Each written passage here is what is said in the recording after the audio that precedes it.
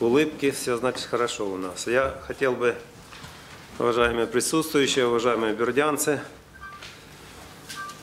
обратиться с очень коротким обращением, потому как день выборов состоялся, позади голосования Бердянский совет и первый тур выборов городского главы Бердянска. К сожалению, таких, на мой взгляд, рязных и таких продажных выборов, как в этом году, наверное, Бердянск еще не видел. Вы знаете прекрасно о том, что местным олигархам в городе была организована система массового подкупа наших избирателей. Цинизм происходящего достиг такого предела, когда людей как товар помечали штрих-кодами, чтобы через выданные им карточки отслеживать не только их явку на избирательных участках, но и номер их подразделения, код куратора, номер десятника, фамилия, имя, отчество того человека, кому выдавалась карточка. Под видом фальшивого экзитпола организатором которого выступила некая общественная организация под названием «За честные выборы», председателем которой является сотрудник райагропромснаба, на которого в том числе оформлены и долги Азмола. Об этом вы тоже должны знать в городе. Также была четко налаженная система контроля за работой многоступенчатой системой подкупа, обмана и запугания людей. Хочу вам доложить о том, что в Украине такой проект реализовывался впервые.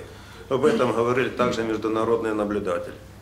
Задачу, которую поставил наш олигарх своим исполнителям, состояла в том, чтобы провести максимальное количество своих людей в новый городской совет и уже в первом туре избрать своего полностью подконтрольного городского головы, который фактически исполнял бы в городе роль настоящего бригадира, подчиненного своему хозяину. Это мое личное мнение, я его говорю открыто.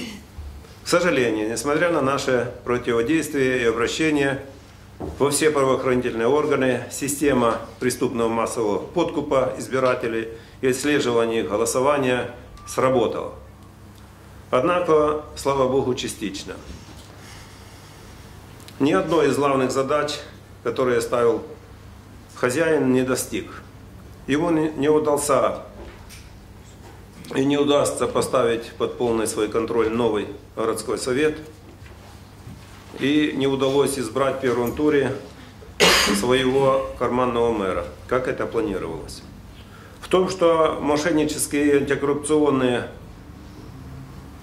планы были сорваны, это заслуга тысяч горожан, пришедших на выборы и голосовавших не за деньги, не за обед, а самое главное по совести. Как действующий городской голова Бердянска я выражаю искреннюю признательность и свое уважение этим людям, независимо абсолютно, за кого вы голосовали из 27 тех кандидатов в мэры. Своим поступком вы, на мой взгляд, отстояли город и дали понять, что не намерены мириться и с тем произволом, который творится. Тем же, кто не пришел на выборы, я обращаюсь с призывом задуматься, дать оценку происходящему и понять, наконец, то, что нельзя упускать свое личное право на выбор власти. Своим бездействием вы сами позволяете другим решать за вас вашу же судьбу. И как бы пафосно не звучали эти мои слова, это именно так. Чем меньше людей приходят на выборы, тем легче провести фальсификации – и навязать городу преступную схему мошенничества. Именно поэтому я призываю всех вас, уважаемые присутствующие, уважаемые бердянцы, не быть равнодушными, не прийти на второй тур выборов. Кого вы будете избирать, это ваше личное дело, не в Бакае дело, не в Шаповалове дело, а дело в том, вы должны быть свободные люди, но не быть крепостными. Вместе мы не должны позволить превратить наш город в сборище крепостных которые вынуждены жить по воле и согласно капризам барина-хозяина. Я бы сказал бы так смело. Важен голос каждого. Помните, не дайте себя обмануть. Я думаю, что на этом мы заканчиваем политические какие-то разговоры. Вы люди свободные, думайте, решайте, принимайте решения. Нам надо с вами работать дальше.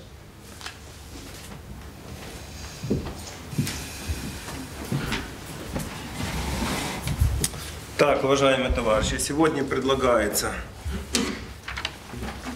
дадим слово Наталье Александровне, это Лазуренко, е, результати комплексної перевірки діяльності відділу освіти, виконавчого е, так, так, так, так, департаменту освіти і науки облдержадміністрації. І друге питання про зміни внесені до закону України про звернення громадян. Я попрошу Наталью Александровну Старобееву также дать информацию.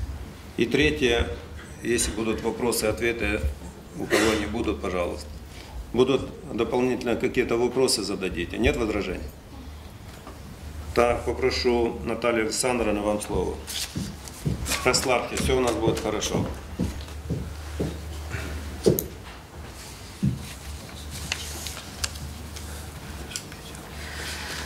Згідно наказу Департаменту освіти і науки е, від 11.09.15 року номер 0466 відділу освіти проходила перевірка з 12 по 16 жовтня 2015 року.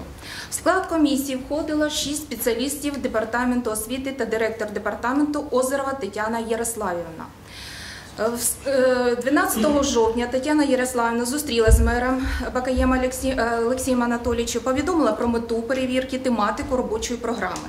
Цей же день було проведено зустріч міського голови директора департаменту з керівниками дошкільних загальноосвітніх позашкільних закладів міста, де обговорювалися питання розвитку освіти, децентралізації влади. Спеціалістами департаменту в ході перевірки вивчалися питання.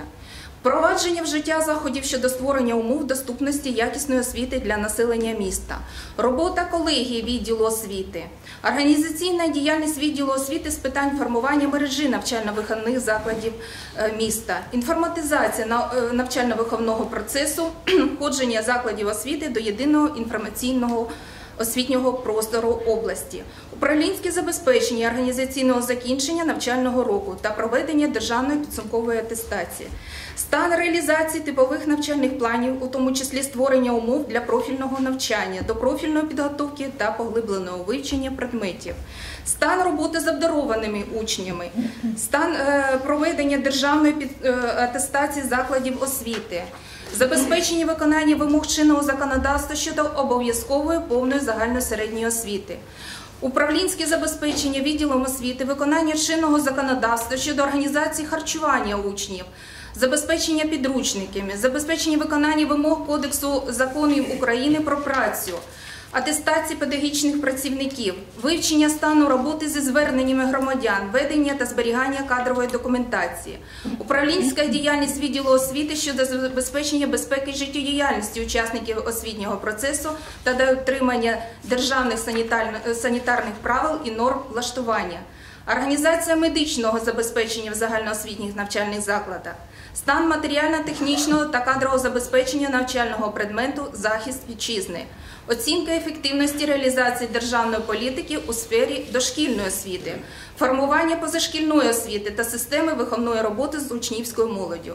У перевіряючі склалось позитивне враження від відділу освіти в ході відвідування навчальних закладів міста, а саме дошкільних закладів номер 25, 37, 39, шкіл номер 1, 3, 5, 11, 20, гімназії 1, 2, 3, Бердянський муніципальний ліцей, позашкільних закладів, клуб юних моряків, е, центр дитячої та юнацької творчості. На початку листопада чекаємо кінцевих результатів перевірки у вигляді довідків та рекомендацій. Життя не стоїть на місці. Освіта на даний час зазнає реформування. Отож і відділ освіти перебуває в процесі пошуку та розвитку. Зрозуміло. Шукайте. Є питання чи нема питань? Сідайте, будь ласка. Спасибі. Наталя Олександрівна, будь ласка.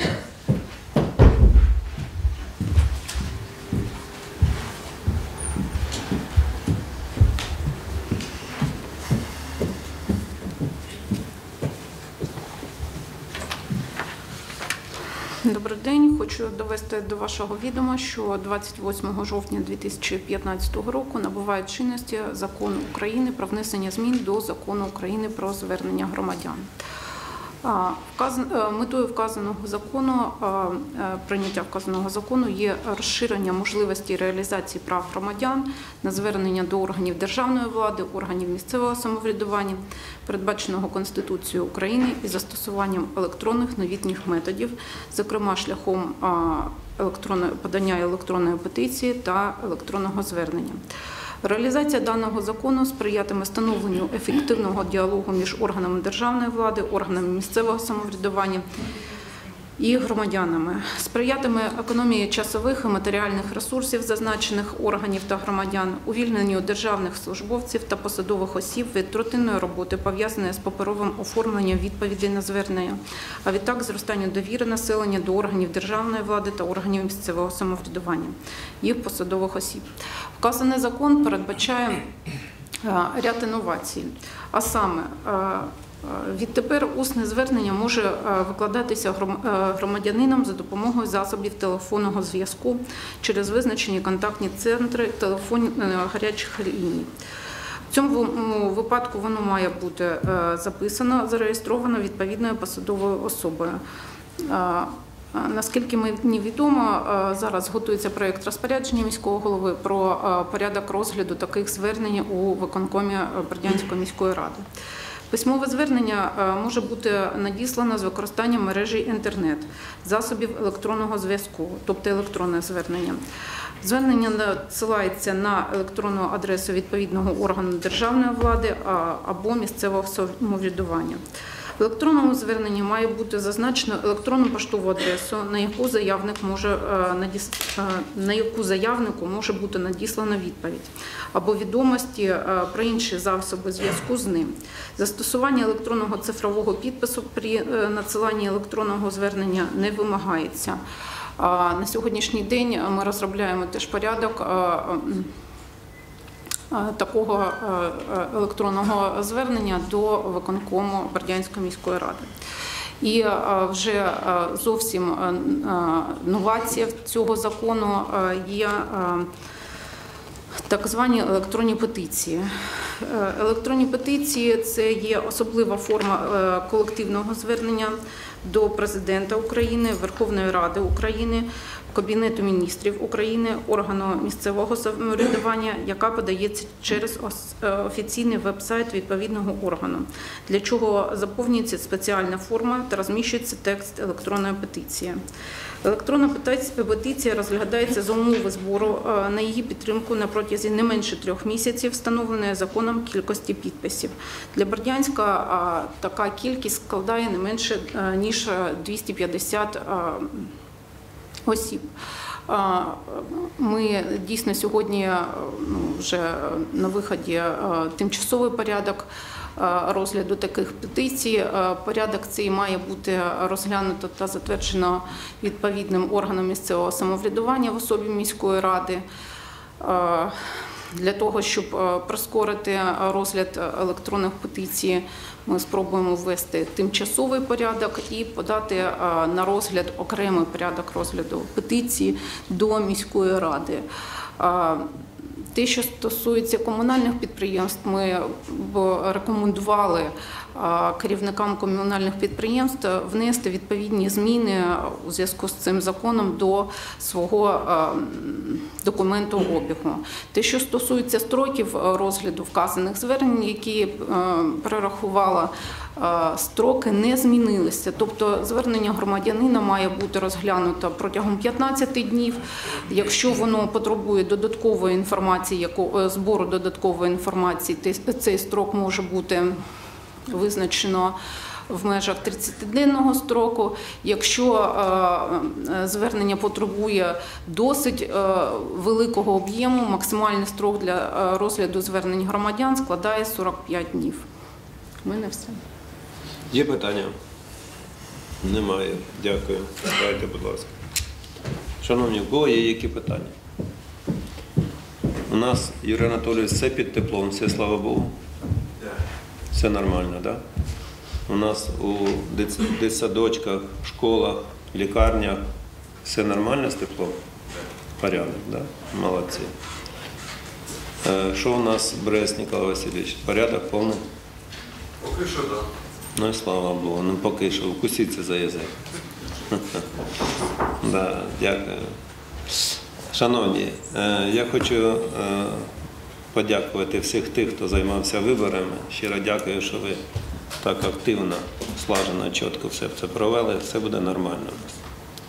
Так що ви розумні люди, робіть висновки. А ми постараємося все зробити, щоб на слідуючий тур екзит-пол не спрацював. Ви мудрі люди, все це добре розумієте.